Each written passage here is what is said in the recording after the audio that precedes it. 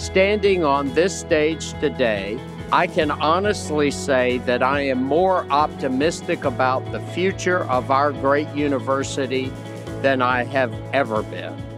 Not only are our students finishing in record time, they are also landing jobs and positions in graduate school like never before. Our annual economic impact on the state is now estimated at $6.3 billion. That's a big impact on individuals, families, and communities. Our research enterprise is flourishing as well. These are clear signs of our expanding impact and our growing presence on the world stage. But these achievements did not happen by chance. Behind every record high, behind every jump in the rankings, you will see an interconnected family of faculty, staff, students, alumni, and friends who love the University of Georgia.